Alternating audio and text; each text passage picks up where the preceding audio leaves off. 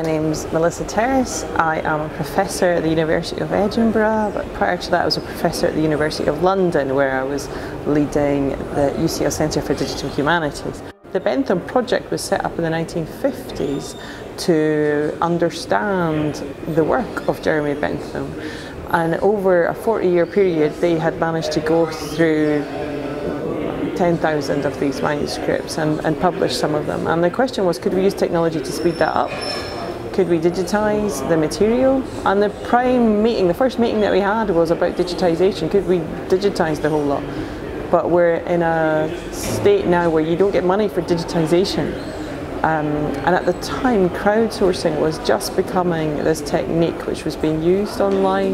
This is nearly 10 years ago now, right? So crowdsourcing now is very familiar, but at the time, crowdsourcing was not being really used at any scale in the library and archive community.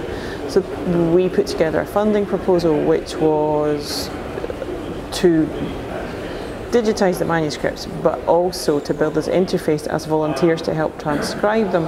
And the research element of that was to see whether or not we could use volunteer labour to do something which had been traditionally expected to be a scholarly task um, and whether there was a mechanism that we could build that would speed up the transcription of these manuscripts and make them available for others, scholars but also general public, much faster.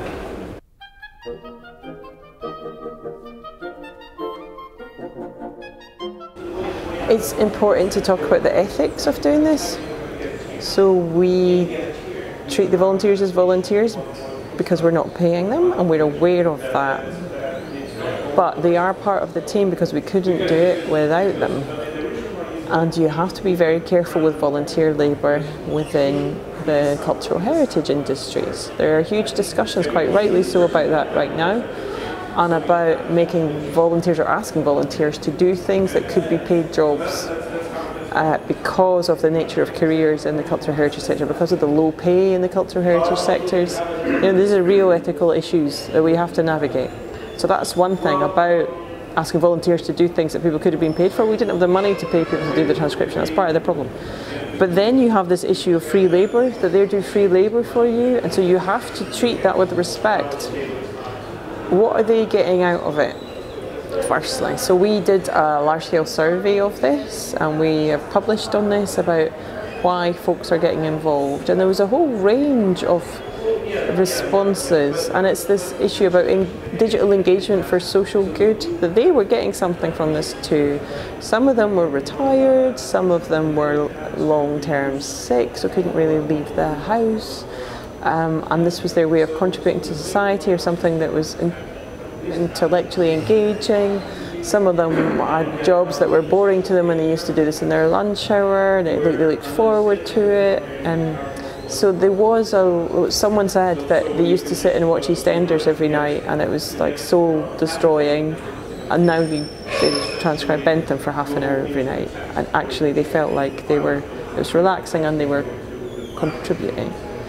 Um, so there's something there about what they're getting from it, but still we are basing our work or the wider work on this volunteer labour. So we've been very careful to respect that all the way through the project. We have engagement with the 30 or so key transcribers, often engagement with them. We occasionally sent them things through the post like a transcribe Bentham mug or a tea towel. Um, we invited them to the yearly events about Transcribe Bentham and if they could make it they were very welcome to come along and there was a few volunteers came to all the public events that they could. There's also the element of publication so these transcripts, some of them are then published in the collected works of Jeremy Bentham. We ask the transcribers, do they want to be named in the publication? And if they want to be named, do they want their username or do they want their real name? Um, so we give them that choice. And I, I think that is uh, it's a crucial dialogue, all of that. I, I hope that they know that we are appreciative we have the newsletter that goes out, I don't know, once every three or four weeks. We have the Facebook groups, we have the Twitter feed, um, and then we have the individual emails to people. Um, and it's about dialogue, even though they are not on campus, they're not on site, but they're part of the team. And I, I hope they know that.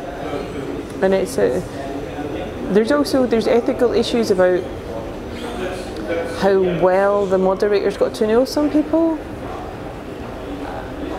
and some of the people that are contributing were going through quite a hard time in their lives terminal illness or you know very personal things happening to them that they were looking for something that they could contribute from home and that brings ethical issues with how, how you're liaising with people and you, have to treat that with respect so I think that the moderators got to know some people very well, and you have to treat that. That becomes a, it becomes almost a friendship, but at the same time there's a relationship there. And then we have to look after the staff who are sometimes, sometimes you know, doing a lot of emotional labour.